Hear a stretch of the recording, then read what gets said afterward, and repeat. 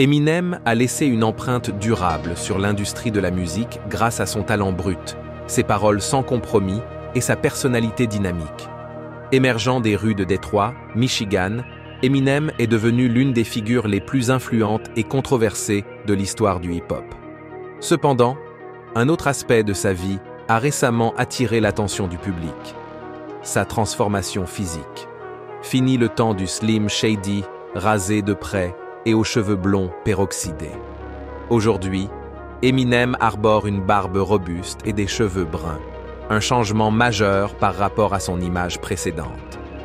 Rejoignez-nous pour explorer la vie remplie de luttes d'Eminem et son apparence en constante évolution. Traumatisme d'enfance et intimidation. Marshall Bruce Mathers III, plus connu sous le nom d'Eminem, est né le 17 octobre 1972 à St. Joseph, Missouri. Ses parents, Marshall Bruce Mathers Jr. et Deborah Ray Debbie Nelson, avaient une relation tumultueuse marquée par des séparations et réconciliations fréquentes. Leur mariage chaotique a entraîné une série de déménagements à travers plusieurs États, dont le Missouri, le Kansas et le Michigan, alors qu'ils luttaient pour joindre les deux bouts. Lorsqu'Eminem était encore un jeune enfant, sa famille s'est installée à Detroit, Michigan, où il a passé la majeure partie de ses années de formation. Cependant, la vie à Détroit était loin d'être facile. Grandissant dans un quartier majoritairement afro-américain, Eminem, qui était l'un des rares enfants blancs de sa communauté, se retrouvait souvent cible d'intimidation et de harcèlement. L'un des incidents les plus traumatisants qu'Eminem a connu s'est produit à l'école élémentaire d'Ort à Warren, Michigan il a été violemment attaqué par un camarade de classe nommé D'Angelo Bailey alors qu'il était à l'école. Eminem a raconté cette expérience dans des interviews et à travers sa musique, décrivant comment Bailey le harcelait sans relâche, l'agressant physiquement dans les toilettes de l'école, dans les couloirs et même en le poussant dans les casiers. Les sévices ont culminé dans une agression particulièrement brutale où Bailey a frappé Eminem si sévèrement qu'il a subi une hémorragie cérébrale. L'intimidation ne s'est pas arrêtée avec Bailey. Tout au long de son enfance et de son adolescence, Eminem a été constamment harcelé et ridiculisé par ses pairs, tant à l'école qu'en dehors. Son statut d'étranger en tant qu'enfant blanc dans un quartier majoritairement noir en faisait une cible de discrimination et de violence. Malgré les difficultés qu'il a affrontées, Eminem a trouvé du réconfort et un refuge dans la musique, en particulier le hip-hop, il a commencé à écrire ses propres rimes et à affiner ses compétences en tant que rappeur, utilisant la musique comme un moyen de faire face au traumatisme. Pendant son adolescence, sa passion pour le hip-hop s'est renforcée et il a commencé à s'immerger dans la scène rap underground de Detroit. C'est à cette époque qu'il a adopté le nom de scène Eminem, plus tard stylisé en Eminem, en référence à ses initiales et à son goût pour les bonbons dysfonctionnement familial et abus. L'une des périodes les plus difficiles de l'enfance d'Eminem s'est produite lorsque la relation de ses parents a atteint un point de rupture, conduisant à leur séparation et à leur divorce éventuel. Les luttes de débit avec l'addiction et les problèmes de santé mentale ont encore compliqué sa relation avec son fils.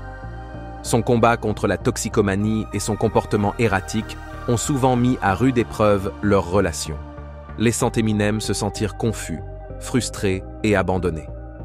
Malgré les défis auxquels ils ont été confrontés, Eminem est resté farouchement loyal à sa mère, exprimant souvent son amour et sa dévotion pour elle à travers sa musique. L'éducation de Marshall Jr. était elle-même pleine de défis et de difficultés, préparant le terrain pour la relation tumultueuse qu'il partagerait plus tard avec son fils célèbre. Dès son plus jeune âge, Eminem a été exposé à l'amour de son père pour la musique, s'immergeant dans les sons du rock classique et les rythmes du hip-hop qui résonnaient dans leur maison.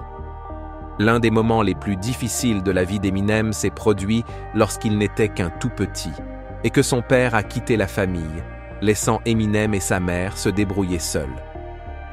Malgré leur relation fracturée, le père d'Eminem est resté une présence dans sa vie, bien que distante.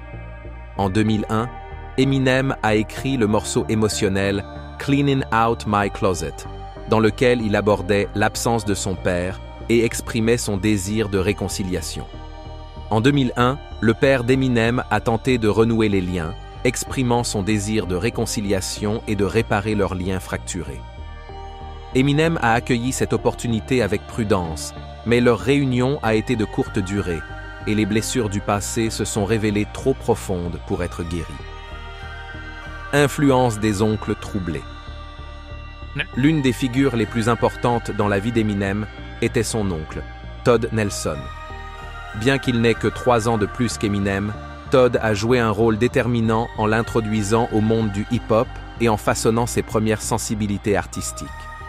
Cependant, l'influence de Todd n'a pas toujours été positive. Il luttait contre ses propres démons et adoptait un comportement imprudent qui mettait souvent en danger lui-même et ceux qui l'entouraient.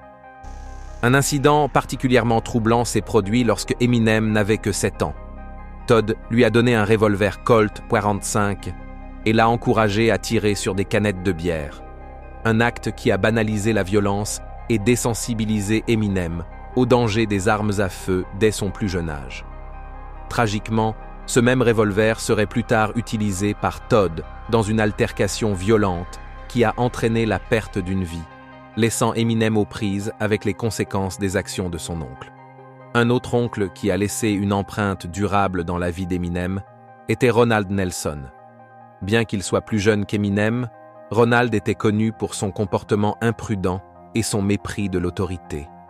Il s'engageait dans des activités dangereuses dès son jeune âge, y compris incendier la maison de leur grand-mère et mettre un hamster au micro-ondes jusqu'à ce qu'il explose. Les dynamiques familiales troublées d'Eminem ont pris fin avec la mort de son oncle Ronnie en 1991. Ronnie, qui luttait contre des problèmes de santé mentale et une addiction, s'est suicidé après une rupture difficile avec sa petite amie. À la suite de la mort de Ronnie, Eminem s'est tourné vers le hip-hop comme forme de catharsis et d'expression de soi. Impact de la consommation de drogue. Le parcours d'Eminem avec les drogues a commencé à un jeune âge. Ses paroles sont imprégnées de références à la consommation de drogue, reflétant la relation conflictuelle qu'il entretenait avec les substances tout au long de sa vie. L'un des moments les plus importants dans la lutte d'Eminem contre l'addiction a été révélé dans le documentaire de 2012, How to Make Money Selling Drugs. Dans le film, Eminem s'est ouvert sur l'étendue de sa lutte, révélant que son addiction aux médicaments sur ordonnance avait échappé à tout contrôle au point de surdose. Il a raconté l'expérience d'avoir failli perdre la vie, les médecins lui disant qu'il n'était qu'à quelques heures de la mort. Les répercussions de l'addiction sur l'apparence physique d'Eminem étaient frappantes. Alors qu'il luttait contre ses démons, les fans ont remarqué des changements drastiques dans son apparence, des fluctuations de poids à une allure hagarde et fatiguée. Les conséquences de l'addiction ont laissé des marques visibles sur le corps d'Eminem, rappelant la force destructrice de la toxicomanie. En 2007, il a pris la décision de se désintoxiquer et a entamé un programme de désintoxication éprouvant. Le chemin vers la sobriété n'a pas été facile, et Eminem a dû faire face à de nombreux défis en cours de route. Il a lutté contre les symptômes de sevrage, les rechutes et l'envie écrasante de revenir à ses anciennes habitudes. Relations toxiques, en particulier avec Kim Scott, la relation entre Kim Scott et Eminem a commencé à l'adolescence. Malgré leur profonde affection l'un pour l'autre, ils ont eu du mal à maintenir une dynamique saine, se tournant souvent vers des comportements destructeurs. La carrière musicale florissante d'Eminem lui a apporté la célébrité et la fortune, mais elle a également exercé une pression sur leur relation. Les pressions de la célébrité associés aux luttes d'Eminem avec la dépendance et les problèmes de santé mentale, ont accru la tension entre eux, entraînant des conflits fréquents. L'un des aspects les plus notoires de la relation entre Eminem et Kim est leur mariage tumultueux. Ils se sont mariés en 1999 au milieu d'une tempête médiatique et d'un examen public intense. La musique d'Eminem servait souvent de reflet de sa relation tumultueuse avec Kim, avec de nombreuses chansons offrant un aperçu brut et non filtré de leur lutte privée. Des morceaux comme Kim et 97 Bonnie and Clyde dépeignent des scènes de violence et d'animosité, mettant en lumière les dynamiques toxiques qui définissaient leur mariage. Un incident particulièrement infâme s'est produit en 2000, lorsque Eminem a interprété sa chanson Kim en direct sur scène, dépeignant une fantaisie graphique de meurtre impliquant sa femme. La performance a choqué le public et suscité l'indignation, mettant en lumière la nature profondément troublée de leur relation. Malgré leur mariage difficile, Eminem et Kim ont tenté de sauver leur relation pour le bien de leur fille, Hailey. Ils ont fait plusieurs tentatives de réconciliation et de reconstruction de leur famille, mais leurs efforts ont souvent été minés par des ressentiments persistants et des problèmes non résolus. Le coup de grâce pour la relation entre Eminem et Kim est venu en 2006 lorsqu'ils ont demandé le divorce pour la deuxième fois. Depuis leur divorce, Eminem et Kim sont restés connectés à travers leur rôle commun de coparents de Hailey. Chemin vers la sobriété. En cure de désintoxication, Eminem a suivi une thérapie intensive et des conseils, abordant les problèmes sous-jacents qui alimentèrent sa dépendance et apprenant des mécanismes d'adaptation sains pour gérer ses envies et ses déclencheurs.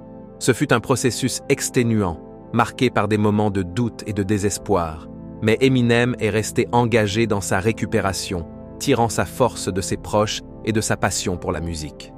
L'un des facteurs les plus significatifs dans le parcours de sobriété d'Eminem était son rôle de père.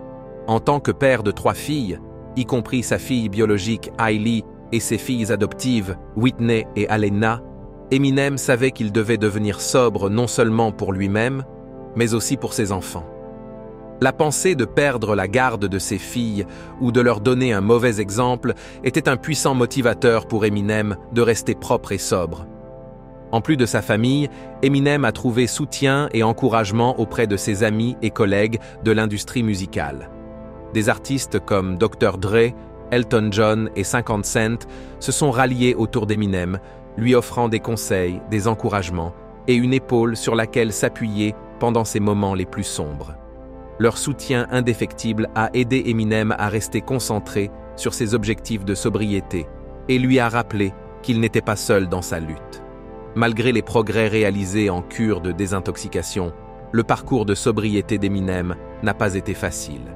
Il a affronté de nombreux défis et tentations en cours de route, y compris des envies, des rechutes et des moments de doute de soi. Cependant, chaque revers n'a fait que renforcer la détermination d'Eminem à rester propre et sobre, lui rappelant les enjeux élevés et l'importance de rester vigilant dans sa récupération.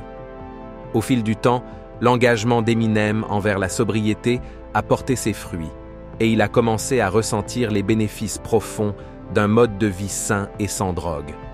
Sa santé physique et mentale s'est améliorée, ses relations avec sa famille et ses amis se sont renforcées, et sa créativité a prospéré. Libéré des chaînes de la dépendance, Eminem a pu pleinement embrasser son rôle de père, d'artiste et de modèle, inspirant d'innombrables fans à travers le monde par sa résilience et sa détermination.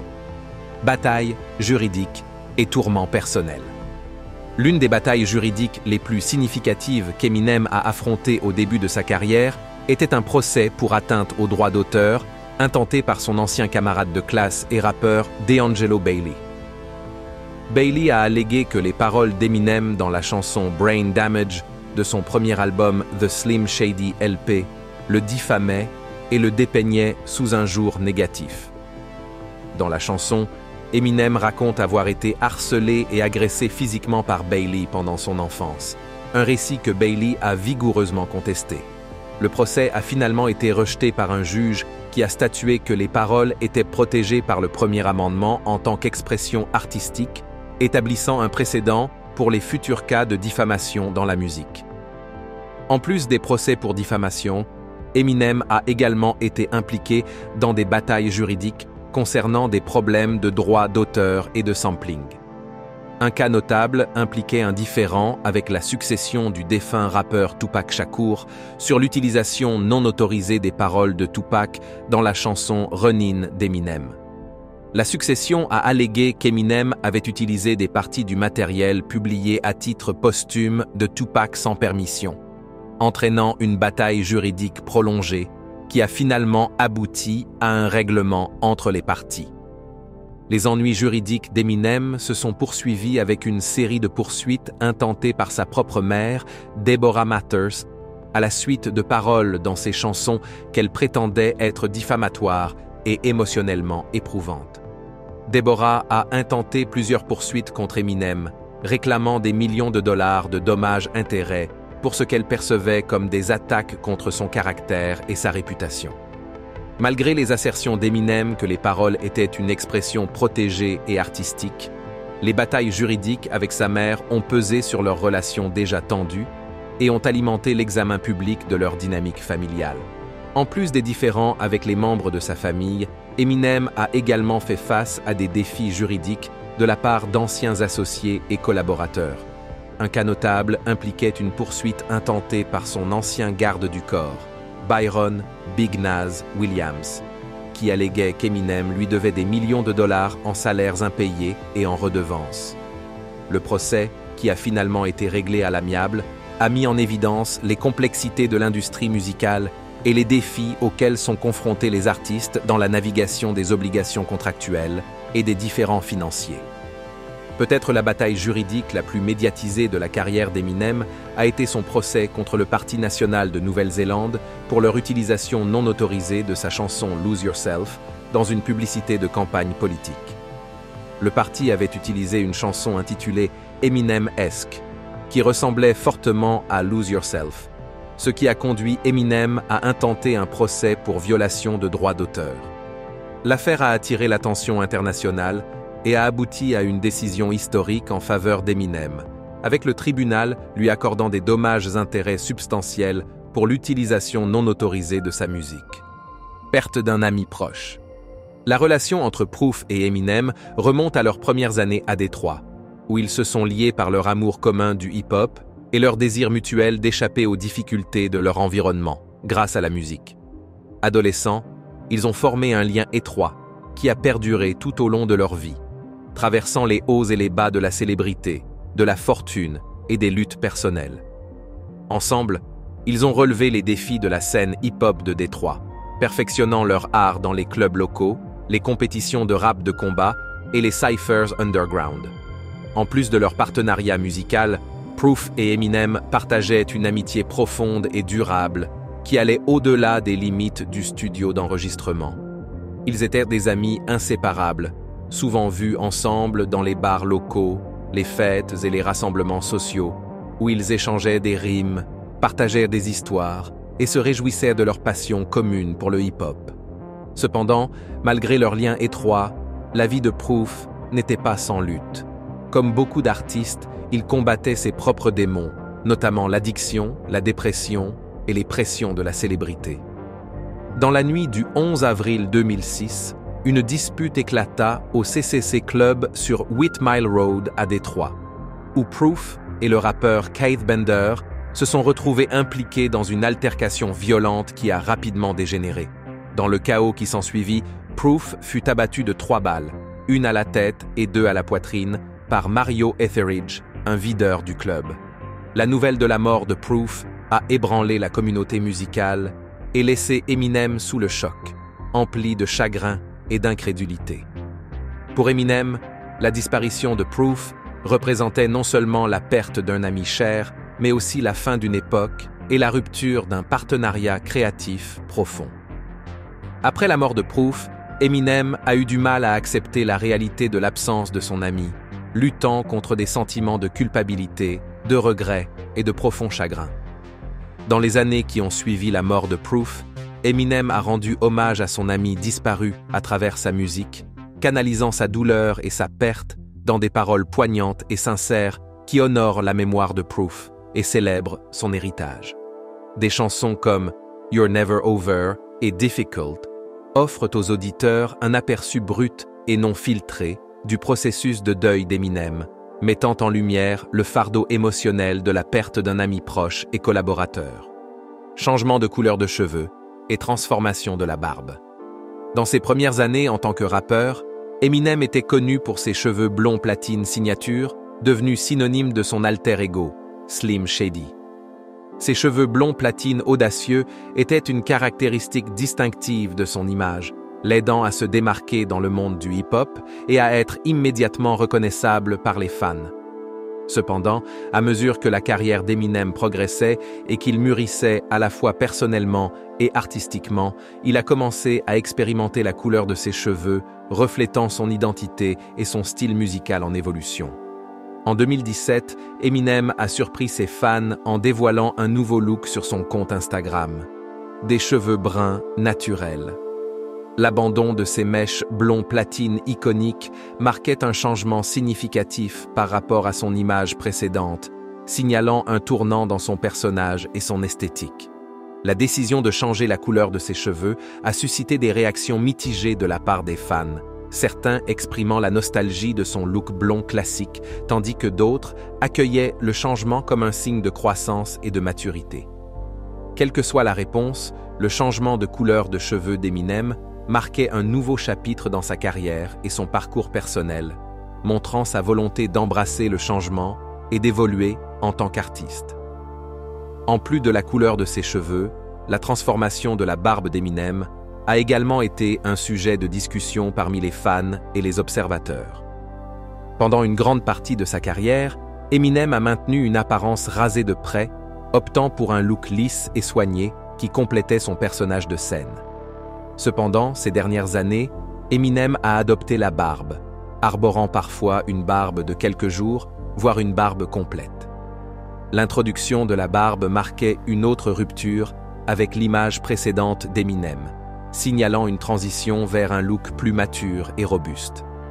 La barbe broussailleuse ajoutait une nouvelle dimension à son apparence, lui donnant une allure plus rude et audacieuse qui reflétait sa croissance en tant qu'artiste et individu. Bien que certains fans aient été initialement surpris par le changement, beaucoup ont accueilli le nouveau look comme une mise à jour rafraîchissante de l'image d'Eminem.